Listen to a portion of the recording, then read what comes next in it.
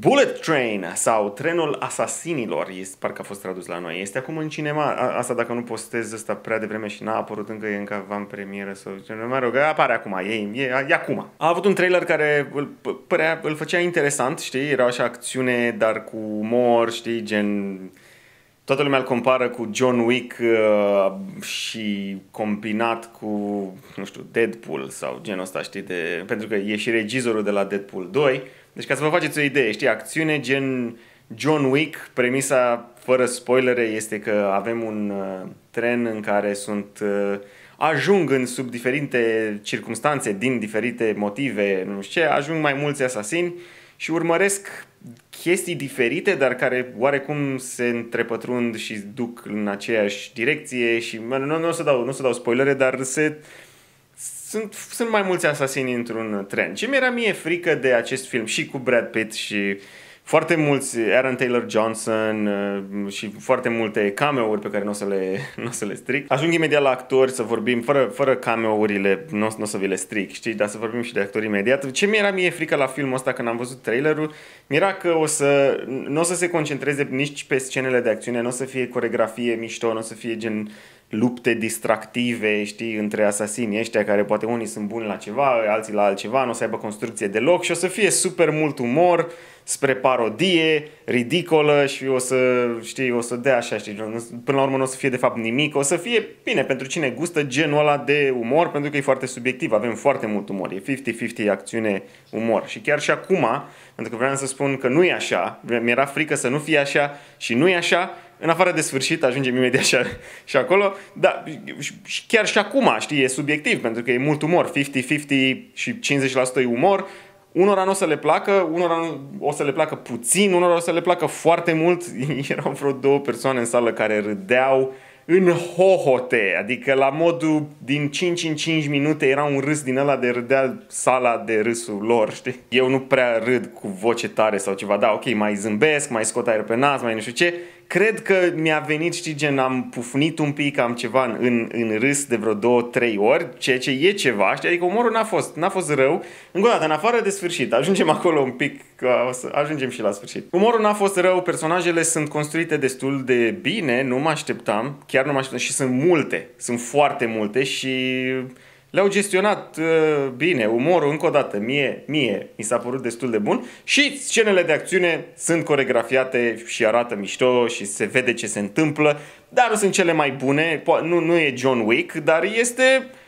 Bă, nu e rău, știi? Nu sunt rele, sunt, sunt, încă o dată, sunt coregrafiate, se vede, nu sunt prea multe tăieturi, se văd, nu sunt prea multe tăieturi, se vede ce se întâmplă, vreau să zic. Mi s-a părut că au mers așa pe o linie pe care nu au depășit-o, dar au mers așa pe linie, știi, să nu dea prea în parodie, să nu exagereze prea mult, să nu fie, știi, să te scoate din atmosferă, să nu știu ce. Au mers, a mers, a mers atmosfera, a mers cea, tot, tot ce au făcut. Uh, uh, ta, cum, Tyree Henry, Uh, îmi scapă numele acum oricum și cu Aaron Taylor Johnson, duo ăsta, într-adevăr toată lumea o să vorbească despre chestia asta și am mai văzut niște recenzii și într-adevăr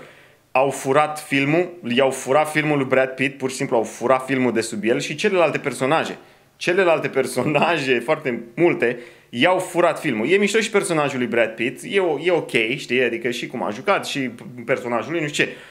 Aproape toate celelalte personaje sunt mai mișto, în afară de Joey King. Personajul lui Joey King din comediile alea romantice sau teenager, care cu adolescenți, nu știu ce, personajul ei a fost foarte enervant. A fost, dar nu a fost enervant încât să te enerveze filmul, a fost, iar și el a fost pe o linie așa, știi, gen, nu n-au, n-au depășit să devină enervant filmul din cauza personajului ei. Oricum, Aaron Taylor Johnson și, bine, și personajul lui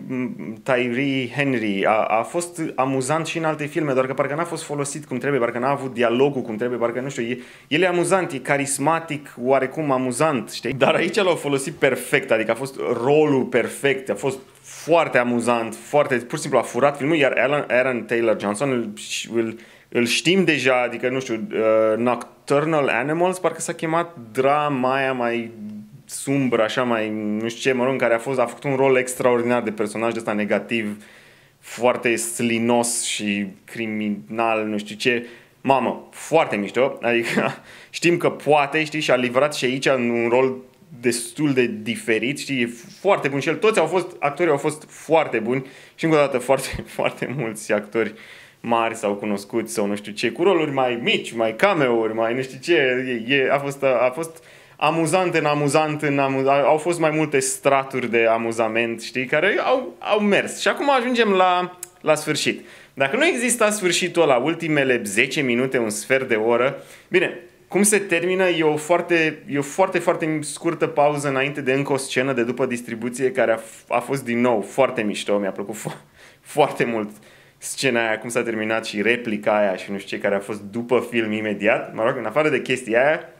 și bun, a avut umor și chestii mișto și în sfârșitul ăla, nu zic că nu. Dar ultimul sfert de oră o ia razna. E, e, depășește linia cu mult, adică gen, până atunci era pe linia aia, știi, limita aia, știi, pe o linie așa fină, la la la, nu știu ce, filmul amă și după aia se duce, frate, face 90 de grade, știi, se duce în sus pe vertical, așa, și revine un pic, poate, știi, în zigzag, așa cât de cât, adică nu prea îmi place când o dau în aproape parodie. Nu mi-a plăcut că au dat-o aproape în parodie, știi? Au dat-o în Deadpool 2, scenele alea tot, tot așa super exagerate din Deadpool 2, unde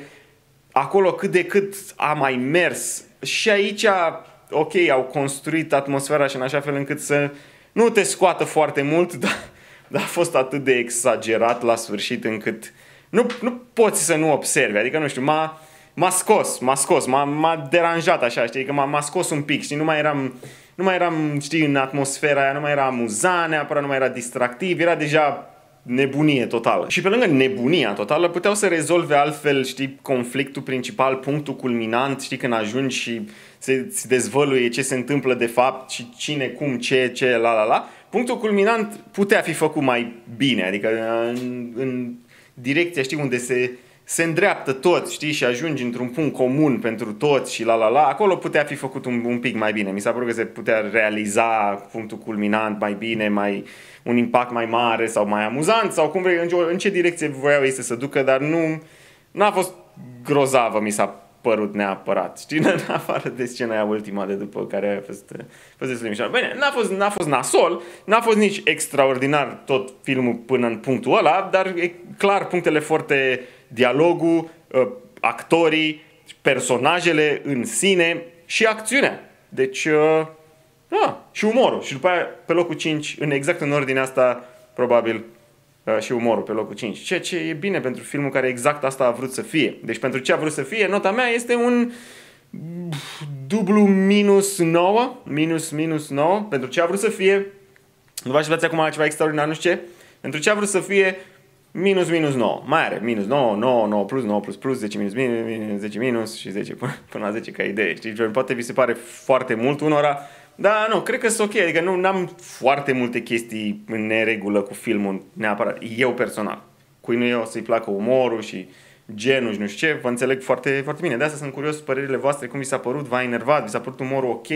ce v-a deranjat, ce v-a deranjat în, în comentarii și ce vreți să urmeze în continuare. Nu uitați să vă abonați mai ales abonare, e gratis, e nu știu ce, mulțumesc foarte mult, membrii, sunteți cei mai șmecheri și uh, Discord în descriere și alte chestii, buy me a coffee, mulțumiri, thanks, donații, nu știu ce, pupa, da, pa, da, pa, da, pa.